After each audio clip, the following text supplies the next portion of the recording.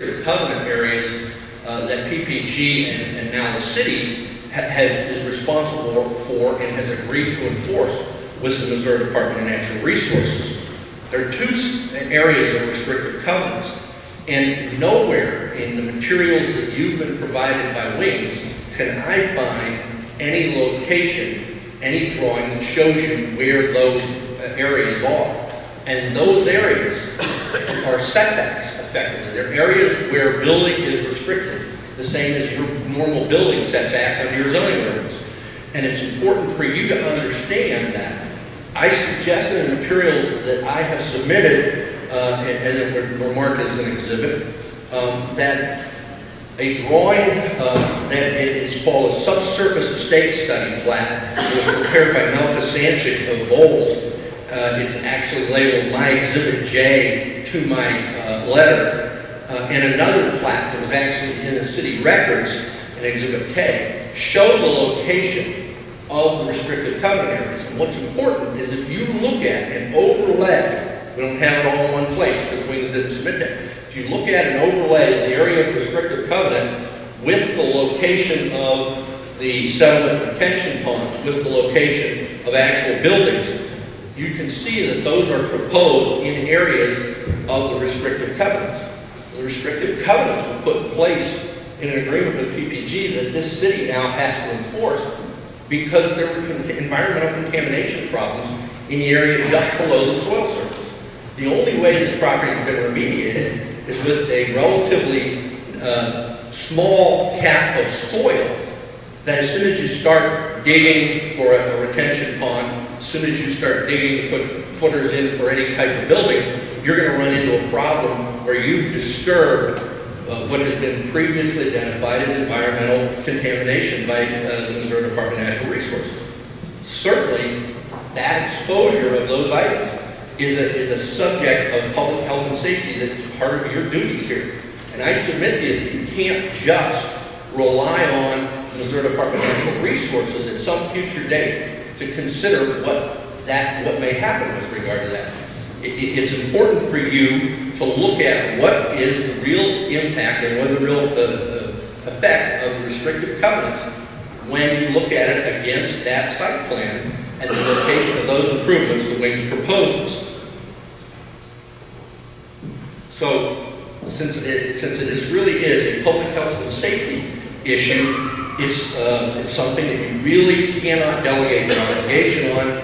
It's up to you to protect your residents and those in the vicinity, uh, to, to protect against exposure to these environmental contamination issues. And, uh, you as a city actually have a totally different statutory role than the Missouri Department of Natural Resources. And your job is is really the frontline protector of public health and safety for the, the residents in your city and the area in the vicinity of the property. And so I submit to you that you need to understand better what is the real impact of these improvements on the areas that are restricted from construction, restricted from um, digging. Uh, There are all kinds of restrictions in these. I've submitted in the materials the whole sets of restrictions, the drawings. You can look at the language yourself. It's understandable to lay people. There's a serious public health and safety issue here that I think you really need to consider. Next, and I haven't heard any real discussion of this, there's a serious uh, public health and safety issue from the disposal of water from the slurry pipeline um, that you need to consider, and I have not seen any discussion about that quantity of water that's going to be discharged. Um, Mr. Alberici, and I, it's not clear, Brian, uh, or Brandon, it's not clear to me whether Mr. uh, Niemeyer's Alberici memorandum February 11th is in the record yet. It's, it's Mr. Niemeyer's memorandum to Mr. Kozol dated February 11th, 2009. It's a bunch of questions and answers broken down by different subject matters. Is it in response to a uh, memo by Henry Kemp? I- I'm sorry, I couldn't hear In you. response to a memo by Henry is that what you're referring to? Uh, let me see. Yes, it does appear to be. Yes, that- That is in the record? Thank you. Um, So in that material that was- is in the record from uh, Mr. Niemeyer's responses, uh, um, it is clear that 1,200 gallons of water per minute are, are going to be discharged. It's not clear where it's going to be discharged yet, because that's not set out in any of the site plans nor in any of the public presentations. Um, and, and the the Wing's response is, well, we're going to work this out with MDNR because they have to have a, a discharge permit, which is, which is true. The problem is, is that the discharge permits are basically under the Clean Water Law. And Missouri Department of Natural Resources is only concerned about the content of the water, It doesn't concern itself about the volume of water. And so you're talking about disposing of, I mean, 1,200 gallons per minute, 24 hours a day, seven days a week, 365 days a year. Let's talk a little bit about that. That's million seven hundred twenty-eight thousand gallons of water per day that's going to be discharged into some as yet unknown location within the site. But this whole site generally is, is in an area that's prone to flooding. Now certainly some areas are out of the flood zone, but where this is going to be discharged is an area which, which is flood prone. In fact, part of the northern area that actually flooded last year.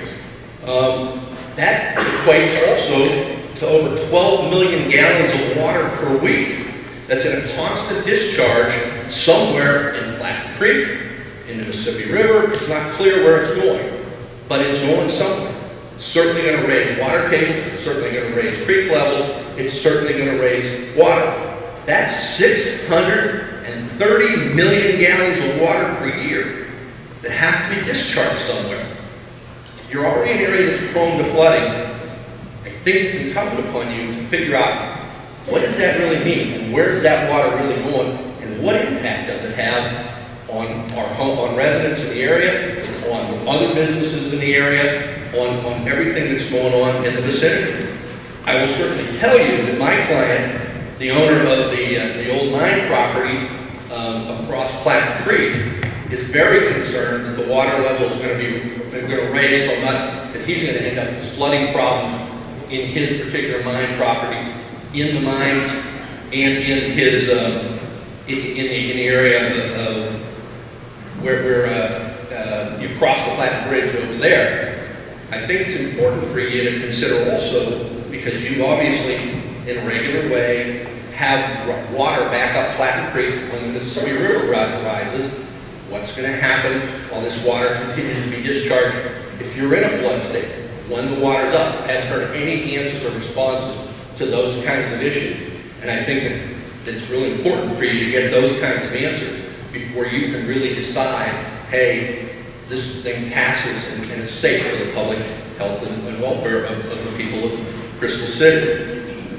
So, another issue that surrounds around uh, this, an issue that surrounds the slurry pipeline, um, is that um, the pipeline is, it's not clear where the pipeline is really being located.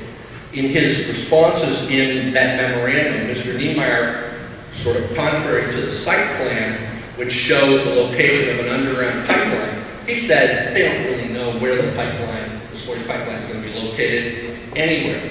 Well, certainly, it's, it's important for you not to worry just about where the pipeline is located on the site, but where's the pipeline going to be located in the city? And what impact does that have, for example, on traffic? What impact does that have on other aspects of the city when the pipeline is being located uh, somewhere uh, in the city, but you don't, you don't currently know where that's going to be? How can you go ahead and approve uh, that kind of a project when, when you really need to know what, where the location of the slurry pipeline is going to be? Um, I also want to point out that it's not clear how Wings is going to acquire right-of-way in your city for the pipeline. Certainly, it's shown on its own, on its own site where it might locate it, but that pipeline's coming all the way from the Pea Ridge mine. Are you going to be asked at a later date to use eminent domain to help acquire the pipeline right-of-way? I think those are issues that certainly impact your city and, and the, the whole issues and concerns of, of your city with respect to that. Is the possible use of eminent domain